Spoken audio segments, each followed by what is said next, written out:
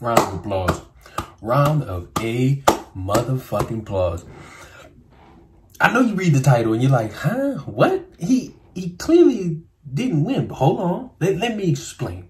Because in court, it's a little bit different. In court, it's like a mind game. It's a mental battle to prove to an audience of people that you are right or if someone else is wrong.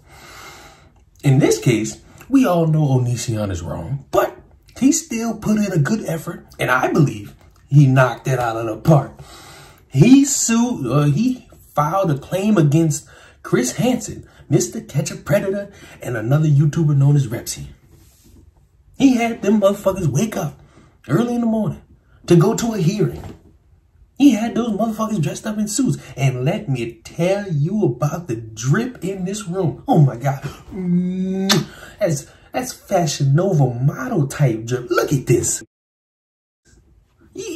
Can't tell me you're not just looking going, mm, mm, mm, exquisite. Ooh, ah, mm. Then his stance. You know, you always gotta stand proud when you feel like you in the right. So you, you he looking like he looking like you standing at attention like this, like he taking a piss in a urinal. Like, like mm, it was mm, mm, it was good. Mm, and to top it all off, he put down his papers and dismissed the whole thing. Dismissed it all. And I just sat there thinking, good game. Checkmate. Because he just made both of these individuals waste their time and resources and money. Chris Hansen sent his lawyer. Repzion wasted $2,500. And right now he's using a GoFundMe to get it back.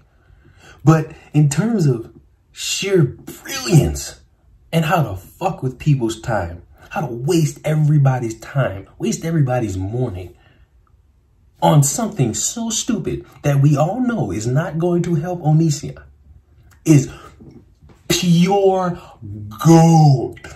Onision beat them in court today. The problem is he's going to end up doing it again. and all that drip and all that bravado is not going to help him if he continues to seek legal action. Onision needs to tuck his tail between his legs and go into hiding because this is not something he can win. He's claiming people are finding out information about him that's public knowledge. He's claimed he's being stalked by two people, one who's just reporting on what's true and what's out there, and the other one who's trying to catch a predator.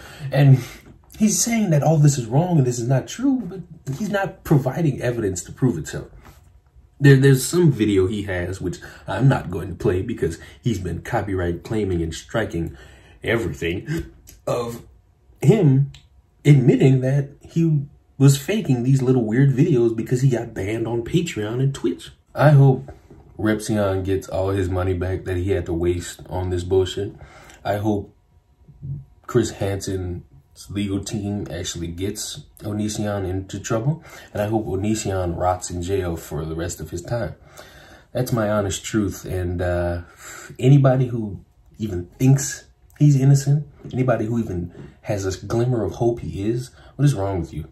You have all this evidence. You have nothing to prove innocence. I'm, I'm gonna go, but I got videos everywhere.